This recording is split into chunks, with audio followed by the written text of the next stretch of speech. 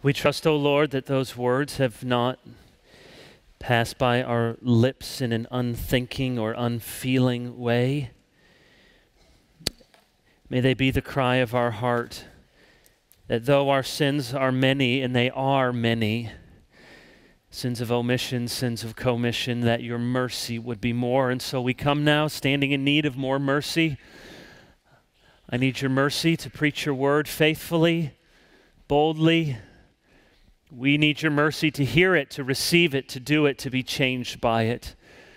And so, you're, so, so show yourself now, O Lord, in these next moments to be a God of great mercy. We pray in Jesus' name. Amen. Our text this morning, continuing with our series through the book of Acts, we come to Acts chapter 10. Acts chapter 10. We'll be reading all 48 verses. It's good to be reminded from time to time when we have longer passages to read, like we've had often in the evening going through the book of Daniel and have this morning a whole chapter in Daniel 10. To remember what Paul tells Timothy until I come, devote yourself to the public reading of Scripture, to exhortation, to teaching. All three of those activities were essential to the pastoral task. It's just a reminder not to think of the reading of public scripture as something we sort of endure or get over so we can get to the preaching of the sermon, but together the reading and the preaching of Holy Scripture is God speaking to us. And so let's listen as we hear God speak to us from Acts chapter 10. At Caesarea, there was a man named Cornelius, a centurion of what was known as the Italian cohort a devout man who feared God with all his household, gave alms generously to the people, and prayed continually to God. About the ninth hour of the day, he saw clearly in a vision an angel of God come in and say to him, Cornelius. And he stared at him in terror and said, What is it, Lord?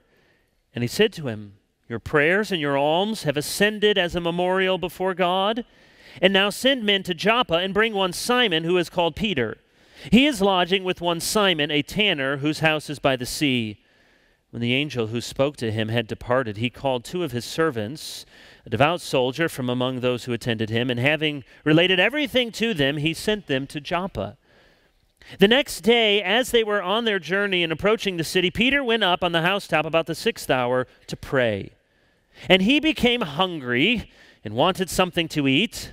But while they were preparing it, he fell into a trance and saw the heavens opened and something like a great sheet descending, being let down by its four corners upon the earth. In it were all kinds of animals and reptiles and birds of the air. And there came a voice to him Rise, Peter, kill and eat. But Peter said, By no means, Lord, for I have never eaten anything that is common or unclean. And the voice came to him a second time What God has made clean, do not call common. This happened three times, and the thing was taken up at once to heaven. Now, while Peter was inwardly perplexed as to what the vision that he had seen might mean, behold, the men who were sent by Cornelius, having made inquiry for Simon's house, stood at the gate and called out to ask whether Simon, who was called Peter, was lodging there. And while Peter was pondering the vision, the Spirit said to him, Behold, three men are looking for you. Rise and go down and accompany them without hesitation, for I've sent them. And Peter went down to the men and said, I am the one you are looking for. What is the reason for your coming? And they said, Cornelius, a centurion, an upright and God fearing man, who is well spoken of by the whole Jewish nation, was directed by a holy angel to send for you to come to his house and to hear what you have to say. So he invited them in to be his guests. The next day he rose and went away with them, and some of the brothers from Joppa accompanied him. And on the following day they entered Caesarea. Cornelius was expecting them and had called together his relatives and close friends. When Peter entered, Cornelius met him and fell down at his feet and worshipped him. But Peter lifted him up, saying, Stand up, I too am a man. And as he talked with him, he went in and found many persons gathered, and he said to them, You yourselves know how unlawful it is for a Jew to associate with or to visit anyone of another nation. But God has shown me that I should not call any person common or unclean. So when I was sent for, I came without objection. I asked then why you sent for me. And Cornelius said, Four days ago, about this hour, I was praying in my house at the ninth hour, and behold, a man stood before me in bright clothing and said, Cornelius, your prayer has been heard, and your alms have been remembered before God. Send therefore to Joppa and ask for Simon, who is called Peter. He is lodging in the house of Simon a tanner by the sea. So I've sent for you at once, and you have been kind enough to come. Now, therefore, we are all here in the presence of God to hear all that you have been commanded by the Lord. So Peter opened his mouth and said, Truly, I understand that God shows no partiality, but in every nation, anyone who fears him and does what is right is acceptable to him. As for the word that he sent to Israel, preaching good news of peace through Jesus Christ, he is Lord of all. You yourselves know what happened throughout all Judea, beginning from Galilee after the baptism that John proclaimed, how God anointed Jesus of Nazareth with the Holy Spirit and with power. He went about doing good and healing all who were oppressed by the devil, for God was with him. And we are witnesses of all that he did, both in the country of the Jews and in Jerusalem. They put him to death by hanging him on a tree, but God raised him on the third day and made him to appear not to all the people, but to us who have been chosen by God as witnesses who ate and drank with him after he rose from the dead. And he commanded us to preach to the people and to testify that he is the one appointed by God to be judge of the living and the dead. To him, all the prophets bear witness that everyone who believes in him receives forgiveness of sins through his name. While Peter was still saying these things, the Holy Spirit fell on all who heard the word, and the believers from among the circumcised who had come with Peter were amazed because the gift of the Holy Spirit was poured out even on the Gentiles. For they were hearing them speaking in tongues and extolling God. Then Peter declared, Can anyone withhold water for baptizing these people who have received the Holy Spirit just as we have? And he commanded them to be baptized in the name of Jesus Christ, and they asked him to remain for some days.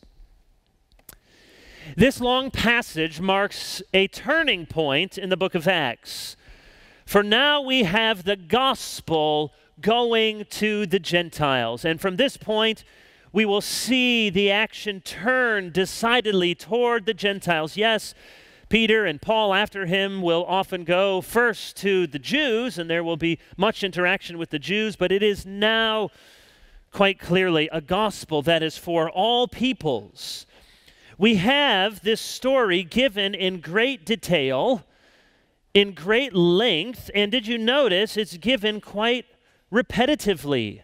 And we might find that tedious as someone has to take seven or eight minutes to read it to you, but it's repeated for a reason. It's indicating how important this section is. Notice in verses 1 through 29, first Luke narrates the story, and then in verse 30 through 33, Cornelius retells the story once again.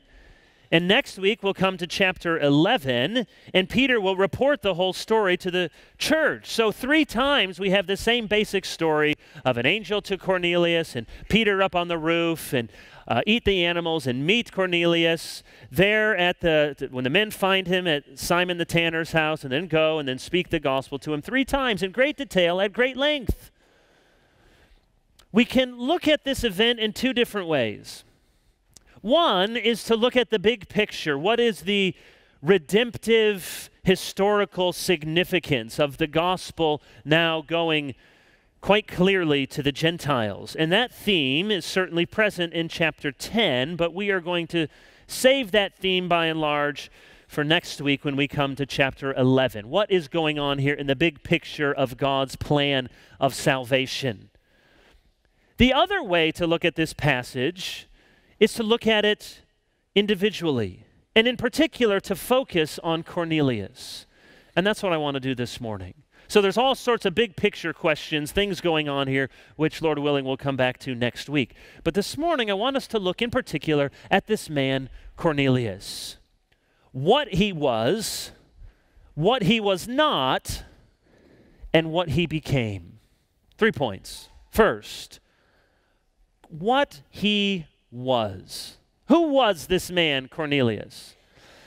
Well, you see, he is given this name, quite a common name given to many Roman men, After Cornelius Sulla granted freedom to thousands of slaves in 82 BC, it became a popular name among the Romans. We read in verse 1 that he is a centurion. As the name suggests, it means he was a captain of approximately 100 men in the Roman army. And it says further that he was a centurion of what was known as the Italian cohort. This is not a sort of learning community within your class to find some discipleship cohort, but this was an army cohort, six units in a cohort, probably an auxiliary force used in protection of the Roman prefect, that is, the Roman regional governor who lived in Caesarea, the provincial capital, and a major administrative center. So this is likely a secret service detail the Italian cohort. I mean, it does, I mean, a centurion sounds pretty cool, but I'm in the Italian cohort. I mean, that is, that's better than the Dutch mafia. That sounds really good. So he's one of these guys, an important person in the Roman army. But the accent, of course, is not on what he does, but rather on his character. Look at verse 2. There are four positive traits mentioned. He is called a devout man. That means he's sincere, he's religious, he's a decent man, he's virtuous. Probably what we would call a good citizen, a good man in the community, a good family man. He's devout. Second, it says he feared God with all his household. That can be a general term, it can also be a semi technical term in the New Testament. A God-fearer, as a technical term, was a phrase for a Gentile who was exposed to the God of Israel and not fully a convert to the God of Israel, but was sympathetic to the Jewish God, took interest in the Jewish people and some empathy toward their heritage and tradition. Now, whether it's a technical term here or it simply means that he was a man who feared God however he knew him, it certainly suggests that Cornelius had responded positively to his exposure to Judaism. And we read that later that he is spoken of in great remarks by all of the Jewish nation. He would have had to come in close contact with many Jews being stationed here in Caesarea. And this is one of the Roman officials that when they talked among they said, Well, but do you know Cornelius? Oh, he's a good man. He's a devout man. He's a God-fearer. He wasn't circumcised. He wasn't a convert, as we'll see. He wasn't following the law of Moses in any detail, but he had a respect for God. He had an appreciation for the religion of the Hebrews. Third, he gave alms generously to the people, so he was compassionate. He was generous with his money. And then we read, fourth, he prayed continually to God, so he is a serious, consistent religious man. We read later in verse 22, you see another one of these summary statements an upright and God fearing man who was well spoken of by the whole Jewish nation. Or earlier in verse 4, your prayers and your alms have ascended as a memorial before God. So this is a man with a sparkling reputation among the Jews. He's a good man, he's a decent man. He's a devout man. Now, it's important to see what this man was like even before he has heard the gospel. Now, Peter is going to share very plainly the gospel. He does not yet have faith in Christ. As we'll see in just a moment, he is not yet a saved man. But he is a decent, devout, religious, God fearing, good man. Now, how do we understand that theologically? Well, if you notice in the uh, bulletin, the title for the sermon, Good News for Good People, I put in quotation marks, because Cornelius is good in a certain sense, and theologically, he's not good in another sense. The Westminster Confession of Faith, chapter 16, speaks about the works done by non Christians. It says, Works done by unregenerate men, although for the matter of them they are to be things which God commands, and of good use both to themselves and others, Yet the confession goes on to say they cannot please God because they are not done from a right heart and a right manner toward the right end. And I think that's right. The confession distills there a lot of good theology. That on the one hand, we know from Scripture that unless you are doing what you're doing in faith, it cannot be pleasing to God. Unless your aim is for the glory of God, it is not ultimately a good work that God finds acceptable and pleasing in His sight. That's one sort of theological category. But of course, the Bible's a big book and it uses words in a lot of different ways. And there's another way to think about good works or acceptable before God or a good man. And that is one who, in a proximate sense, is devout, decent, moral. It's important that we have this kind of theological nuance. Otherwise, you and I may make the mistake of thinking that every non Christian, or even most non Christians, are going to be some sort of seething, licentious, despicable monster. They'll just be so obvious. It wouldn't possibly be nice to us as neighbors. Like you could just tell where the Christian neighbors are and the non Christian neighbors because they graffiti your lawn every night and they throw rotten eggs over your window. And when they come out, they have little pointy horns. Of course not. In fact, we've all probably encountered that theological conundrum. Why is this non Christian person I know seem so much nicer than this Christian person that I know? C.S. Lewis has an interesting essay about that. Part of his argument is you have to understand that some people, by virtue of background and upbringing and parents and school and all the rest, have quite a head start on being basically nice, decent, socialized, civilized human beings. So maybe the Christian that seems to be here to you started way back here, but save that for another day. The point is this there is more than one biblical way to look at a person.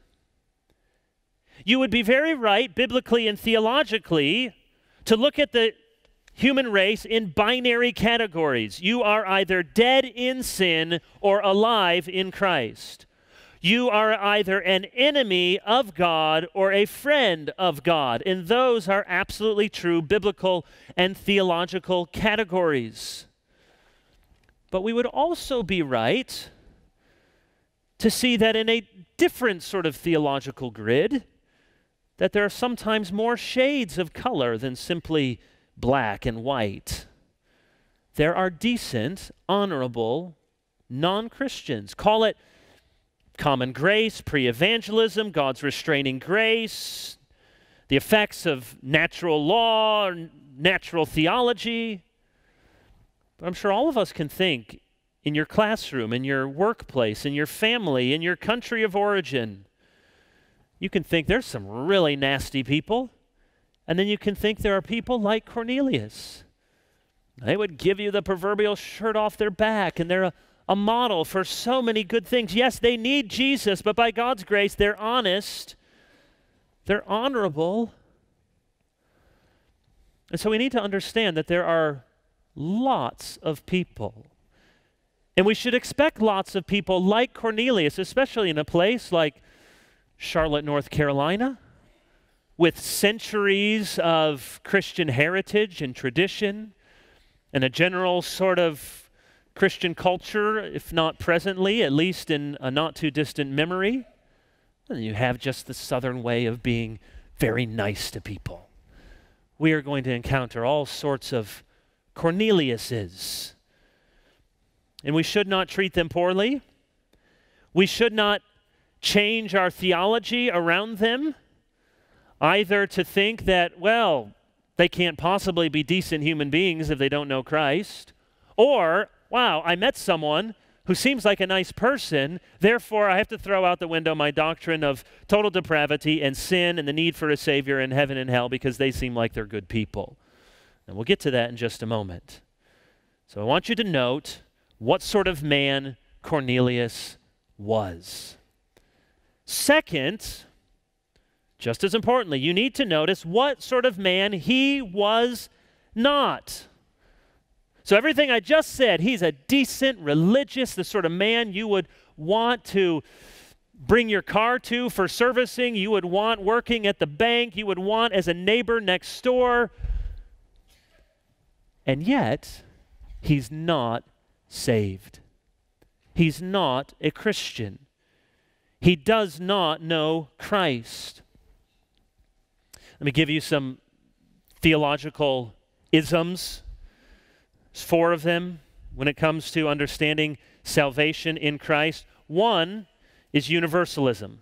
This is the belief that all people in the end are saved. The population of hell is zero. Everyone ends up somehow in heaven. Universalism. Bible obviously does not teach universalism. Not getting into that, but it doesn't. Second, pluralism. I'm not talking about the sort of good sort of pluralism where we all learn to live together and we're all very different, but theological pluralism, it's not quite universalism. There still may be a hell because there still needs to be some place for Hitler or Stalin or whomever, but there are many, many ways to God. There's many ways, and if you're sincere and if you're a, a decent person, then there are many different religious paths that will put you in heaven. That also is not what the Bible teaches. There's a third category, which is quite popular among some evangelicals, and I bet some of you may, without knowing it, hold to this position. And if not you, then some of your kids and grandkids. It's called inclusivism. Inclusivism says, well, yes, we are only saved through Christ. We know that from the Bible. We're saved. We must be saved by the, the finished work of Christ on the cross. It's only by his death and resurrection that we can be in heaven. But inclusivism says, ah, well, but perhaps we don't need to put conscious faith in Christ in order to be saved by that Christ. And sadly, as much as we love C.S. Lewis books, he advocates in both the Chronicles of Narnia and in Mere Christianity for a version of inclusivism. That the followers of Tash were actually saved by Aslan, even though they didn't know it. It's a version of inclusivism. You're saved by Christ, but you may not have heard of Christ. You may not have put conscious faith in Christ. And then, what the Bible teaches is what is called exclusivism. Now, that sounds very negative, but it's just to differentiate it from the other sorts of isms. And that's the understanding that we are saved not only through the work of Christ, but we are saved only by putting conscious faith in Christ. Speaking here of sentient adults who have the capability of mental cognition to put faith in an object, in Christ. And we'll get to that throughout the book of Acts and Lord willing, when we come back to John's gospel and get to John 14, 6 in particular. So I'm not defending it, I'm just giving you these categories because many people want to look at Cornelius and say, here we have an example of a man who is either an example of inclusivism or pluralism. Because he was a good man, he was a decent man, he was a God fearing man, and wasn't he already acceptable before God? Well, here are four reasons we know Cornelius was not already saved. You can read more about this if you ever pick up John Piper's book, Let the Nations Be Glad. He has quite a bit of helpful information about this passage in particular. Just look at chapter 10, verse 43. To him, all the prophets bear witness that everyone who believes in him receives forgiveness of sins through his name. So here's the first indication Cornelius is not saved because Peter is preaching to him the gospel, saying, You must believe in him to receive forgiveness of sins. You haven't yet. That's the message Peter shares. Uh, we haven't gotten to chapter 11, but turn the page. Here's a second passage, a second reason. Chapter 11, verse 14. Relaying the story, it says, He will declare to you a message by which you will be saved, you and all your household. Well, that seems pretty clear. He was not saved because Peter is coming to give him a message whereby he can be and will be saved. A third verse, go down to verse 18, chapter 11. When they heard these things, they fell silent and they glorified God, saying, Then to the Gentiles also God has granted repentance that leads to life. So God led Cornelius and those with him to be saved. He wasn't already, but now he is. And then a fourth verse, if you go back to Acts chapter 2, verse 5. You may not have noticed this before, but here we have the men at Pentecost. And what do we read in verse 5? Now there were dwelling in Jerusalem Jews, and here's the language devout men from every nation under heaven. Now, if you know the rest of Acts chapter 2, you know that Peter's sermon ends by saying, You must repent, you must believe, you must be baptized. Here is this Christ prefigured and prophesied in your scriptures, and now you must put faith in him. So here again are devout men, they're not saved men. So Cornelius was not a Christian, he was not saved. So, what do we do? Go back to chapter 10 with verse 35, because this is the puzzling verse. But in every nation, Peter says, anyone who fears him and does what is right is acceptable to him. So that's the stumper, because if you just look at it quickly, you think, is Peter saying, you, you fear, you have a general fear of God, and you're a good person, you're acceptable. Well, what does it mean to be acceptable? Now, we just saw it cannot mean that Cornelius and people like him are already saved for having a general reverence to God and being decent people. We've already seen from multiple passages, Cornelius was not saved. He was getting the gospel in order that he could be saved. So, acceptable there must not mean, and you are saved. So, what does acceptable mean? Well, there's a few different options, as you might imagine. One option says acceptable could mean that they are welcome now to come to Christ. So, God-fearers, eh, people who do what is right, you are accepted. That is, you're welcome. It's not just the Jews, but the Gentiles too. Every nation is now accepted to come to Christ. That's what David Peterson, one scholar, says.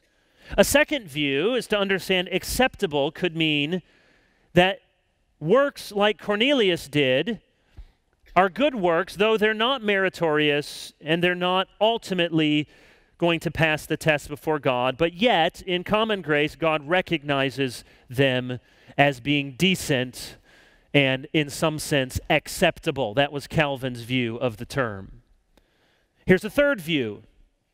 Perhaps the word acceptable in verse 35 includes, looking forward, the belief that will later be mentioned in verse 43. In other words, when it says, in every nation, anyone who fears him, that perhaps that's not a general sort of God fear, but the kind of fear of the Lord that is the beginning of wisdom, the, the, the fear of the Lord that embraces God and the person of his Son, Jesus Christ, that they are acceptable because they fear him in a saving way.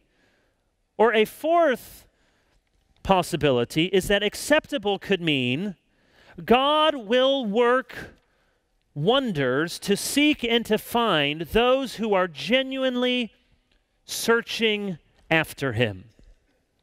That's what John Piper advocates. That for people like Cornelius, if you truly fear God and you are truly doing what is devout and in some sense acceptable before Him, that God will so move by his providence to see to it that the gospel is proclaimed to you so that you might be saved. You could make a case for each of these interpretations, but look again at verse 4. He stared at him in terror and said, What is it, Lord? And he said to him, Your prayers and your alms have ascended as a memorial before God. Or later in verse 31, we see the same thing. Your alms have been remembered before God. Like I, I think this suggests something like option two, with perhaps we can have hope toward option four. Option two was Calvin's remark that in some lesser sense, men like Cornelius and their good deeds were found acceptable. So his alms were remembered. In other words, God looked down from heaven. He said, I take note of that. I see that what you've done, though it is not salvific, though you are not saved, that particular act is something that, in a proximate sense, can be acceptable before me. And might it be, as Piper suggests, that what God does here for Cornelius, he might do for people still today? That is, namely, he knows people who have a genuine fear of God and they are, with the light that they have, searching hard after God insofar as they can know Him, that God sees that, He recognizes that, and He will make every effort, and He's God, and so it's a successful effort to send the gospel to those people that they might hear and believe. I would stop short of thinking we can make that case from Cornelius, but we may have an example of it in Cornelius and pray that God would continue to do the same. Here's the point again we need to recognize that non Christians can be honorable, decent, devoutly religious people, and we must recognize that to be an honorable, decent, devoutly religious person does not make you a saved person. You are not going to find a better chap than this guy, Cornelius. And yet, clearly, he needs to repent of his sins, hear of Christ, and believe in the Savior. So, do you see how we need both of these truths about Cornelius? What he was and what he was not. And if we don't have both of these truths, you're going to go off someday and you're going to meet a whole bunch of uh, really wonderful non Christians because there's a lot of them. Maybe some of you are visiting our church. Glad you could overhear this sermon this morning. And you're going to get your theology all mixed up. I hope parents, I hope school teachers, that we're helping Christian students understand that they may go off to a secular university and they may find really nice decent, moral, non Christian people. I hope we're giving them a category like Cornelius so they don't go off and they say, Mom, Dad, I don't know what to do. My professor here is so smart and he's really, really nice and he takes a real interest in me and he seems to know all that he's talking about and he doesn't want anything to do with Christ. So how can I really believe what I've been told? I think of a professor, and I went to a Christian college. I think of a professor I had who I think he would have called himself certainly an inclusivist, maybe more like a pluralist, I think, in his view of salvation. And the way he told it, whether it was accurate or not, it was his own perception. He grew up in a very strict or fundamentalist, perhaps, sort of Christian upbringing. And at some point, he started taking trips to India. And he met wonderfully generous Hindus, and people invited him into their home, and he became really sympathetic and enamored with many aspects of the Hindu religion. He never, this professor, rejected his Christianity. But if you went and visited him in his office, it was all sorts of Hindu little trinkets and gods and goddesses. And the way he taught his world religion course was very much to expect that God was so massive that he could save people in so many different ways. And there were lots of people who never heard of Christ who were already saved and going to be with you in heaven. And he was quite clear as he told his story that it was his trip to India that made him change his theology. Now, I don't know that a right understanding of Cornelius would have prevented that, but it's certainly one of the things that we need to have in place. Here's a man, he's a good man, he's a religious man. You would like this man, you would be happy to have him at your birthday party. And you don't need to change your whole theology to incorporate someone like that into your thinking. Good man, not a saved man. So, what then did he become? We saw what he was, we saw what he was not. Finally, notice what he became. He went from sincere and religious and lost to repentant, believing, and saved. So we first meet him in the first eight verses. He has an angelic vision send men to Joppa, get Peter. He obeys immediately. I bet he obeys better than some of us would have if an angel appeared to us. Some of us would be like our children. Hold on a second, I'm checking something on my phone. You're shiny, but this is shinier. No, he obeys immediately. Sends two servants, devout soldier to Joppa. And there, before they're going to intersect with Peter, we find that Peter is having his own divine encounter. While they're on their way, Peter receives a vision. He goes out on the housetop at noon to pray. And I know this isn't the point of the passage, but I'm somewhat encouraged that he got hungry when he was praying. Does that ever happen? Okay, I'm glad. It happens to me often. I'm praying. I'm hungry. Actually, I'm praying. I'm distracted by everything else in the world. So Peter was hungry. Now, this hasn't happened to me. A sheet of animals lowered from heaven, rise, kill, and eat. I can see all the hunters out there just circling it. Just, honey, did you see it? It's right there. It's right there. This is why I'm going to be gone for the next month. It's right there. Of course, the point here is not about hunting, it's about this transition and redemptive historical movement. The voice comes back a second time and a third time. It's like what Jesus says in Mark chapter 7, where he pronounces all foods clean. What God has made clean, do not call uncommon. You've had all these food laws, and now enjoy the buffet, Peter. Let me introduce you to something we call bacon. It's a great gift.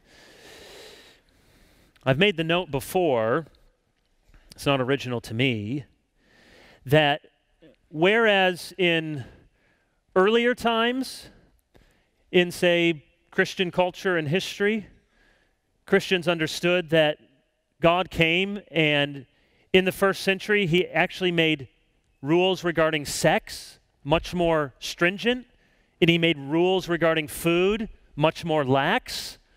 Now, as we move away from a Christian culture, don't we see just the opposite happening in our day?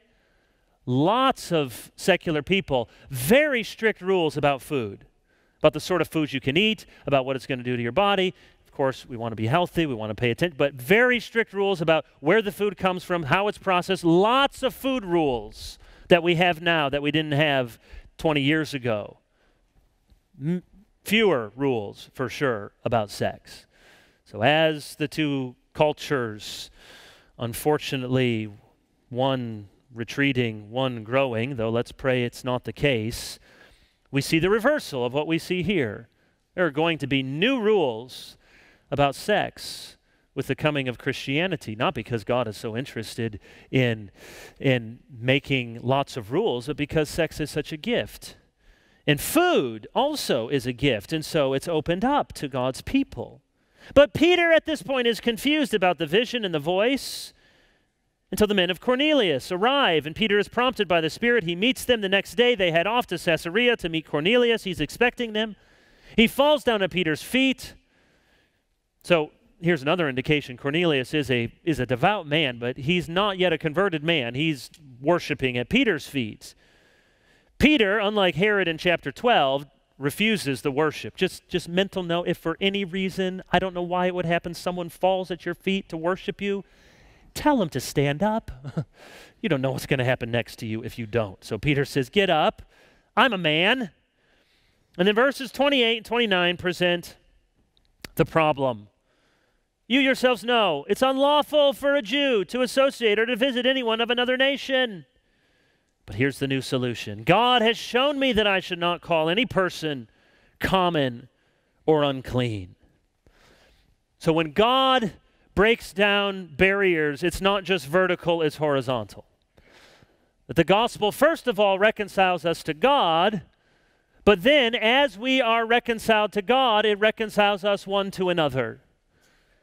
We used to have enmity between us and God, but not anymore. We used to have enmity between races or ethnicities, and God says, No, you come together in Christ.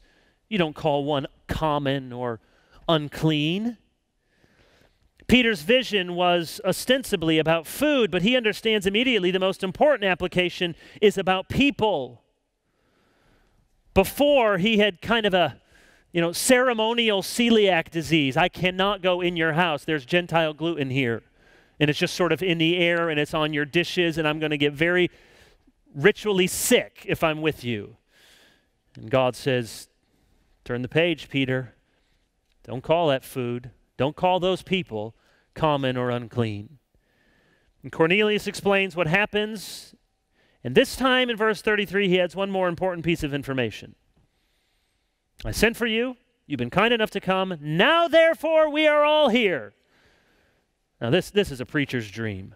We are here in the presence of God to hear all that you have been commanded by the Lord. He says, Look, Peter, you're here. We want a sermon because God sent an angel and he told me that I need to hear something from you. So give it to me.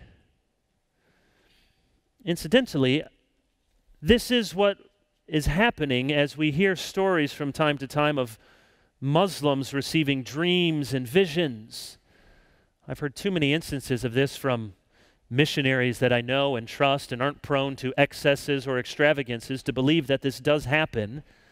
But you must realize it's not Muslims in dreams and visions hearing the gospel, but it's in dreams and visions go talk to this man, go meet this person, go find a Bible, go find somewhere. And then they receive the gospel through a Bible or through a Christian or through a church. I believe that God can still work in these supernatural ways. Peter gives his speech. The summary statement of the sermon is found in verse 36. As for the word that he sent to Israel, preaching good news of peace through Jesus Christ, he is Lord of all.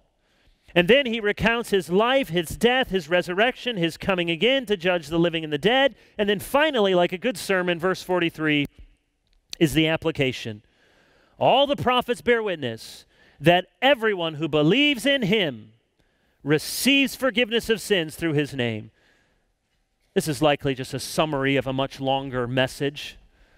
Yeah, don't tell me, hey, Pastor Peter's sermons were like 45 seconds long. It's a summary. But the final point is clear Cornelius, you you can know this savior. Believe in him. You can be forgiven by God. Repent. Believe in Christ. And so they do. We'll read more of that in chapter 11. You see, Peter needed to know that it was okay to come to Cornelius and have fellowship with him. Cornelius needed to know how they could have fellowship with God. And then in verses 44 through 48, the Spirit's confirmation as the Holy Spirit falls, they speak in tongues, they praise God, they're about to get baptized. This is the final confirmation that the Gentiles have received the gospel and God has received them. You could do a study through the book of Acts and see that there's not a discernible pattern on whether the Spirit falls and tongues and prophecy and baptism. Sometimes it's there, sometimes it's not, sometimes it's in one order, sometimes another, which strongly suggests that these are descriptive more than they are prescriptive. That is, they describe what happened in this apostolic age as the Spirit fell more than they prescribe that this is the pattern that will always take place. But here, the gift of the Holy Spirit in such discernible measure is to make public acclamation that God has received these Gentiles and they are his people. I want you to notice as we close what made it way for Cornelius to come to Christ. Because up to this point, a lot of cool things have happened to Cornelius. This has been quite a week for Corny. An amazing few days. I mean, this would have been a week to remember for the rest of his life. They would have said, Oh, remember that week? Oh, yeah. Crazy. An angel came and visited me, and I sent people to find this Peter, and then he came back, and he too had a weird vision with a sheet and animals. And then we met, we became such good friends. And man, that was an amazing week. And if that's all that happened angelic visitation, miracles he would not have been saved because he would not have heard the gospel. There was nothing to save him yet. His, he experienced great miracles, but more important than all of that, he needed to hear the good news. He needed Peter's sermon. There's a man, Jesus Christ. He's Lord of all. He came, he lived, he taught, he died, he rose again, he appeared to us, and in his name, and in his name only, is found forgiveness of sin. As Paul says in Romans 10, how shall they hear without a preacher? So let me give you two questions to ponder as we close. Is God calling you to be a Peter? That's the first question. Is God calling you to be a Peter? Has God arranged for you? Now, you didn't receive a, a trance, a vision, a sheet. But no less miraculously, is God arranging for you to be a Peter in the life of some Cornelius? That God has so orchestrated that person in your cubicle, that person in your class, that person on your street, that person at the weight bench next to you to bring you together. You have kids, you have grandkids, you have loved ones. You pray for them. You, you, you have loved ones in your life who don't know Jesus, and you pray for them. Some of you, every single day, you pray for kids, for grandkids, for nieces, for nephews, that someone would share the gospel with them, invite them to a good church. Do you think there's some mom or dad or grandma or grandpa or former roommate praying for, for you to be that person? For someone that move to Charlotte, move to your office, move to your neighborhood, move to your retirement center. Is God calling you to be a Peter to some Cornelius? So arrange that relationship, and you are going to be the one to speak of Christ. Here's my second question Is God calling you to himself because, if truth be told, you're a Cornelius? So the first question, are, are you a Peter for a Cornelius? The second question, might you be a Cornelius? The Lord knows that Charlotte, North Carolina is filled, probably hundreds of thousands of Cornelii. And might you be one of them? You are a nice person. Many people would say, She is a very good lady. You're sincere. You're decent. You're trustworthy. People like you. You have a good reputation. You've been successful. People at the office like you. People at school like you. You're a respectable person. You're a religious person. You're happy. You, you, you like good things about God. You're what might be called a Christ-fearer. You're sympathetic to Christianity. You like the church. You know many Christians. But might you be another Cornelius? And though you are devout, and though you are religious, and though you are sympathetic to Christianity, you are not yet really a saved Christian. Perhaps your prayers, your dedication, your searching have risen to God as a kind of acceptable offering, but now He wants to share with you the good news of peace through Jesus Christ because it isn't enough to be decent and devout and religious. You must repent and believe and follow. God is still saving sinners. I'm not a world traveler, but I've been to a number of places, and I can tell you from all over the world places in Western Europe that you would have thought were long gone for the gospel, places in the Muslim world, places in the Middle East, places in India, places in Africa, places in South America and Latin America. God is doing amazing things. The gospel still saves. And the gospel is still powerful enough to save you. For some of you are a Peter, and some of you may be a Cornelius. Let's pray. Our gracious Heavenly Father, may today be the day of salvation for some. May this week be the week where we come to grips. We thought we knew Christ, but we were only Christ fearers. We thought we were Christians, but we were just friends with a lot of Christianity. May this week be the week where we're honest with ourselves, with what we really believe, where we've really been, what we really think, what we've really repented of. Lord, may this be the week where you give us opportunity as a Peter to a Cornelius to speak of the good news of peace, the only name given among men whereby we can be saved. The name of Jesus, in whose name we pray all these things. Amen.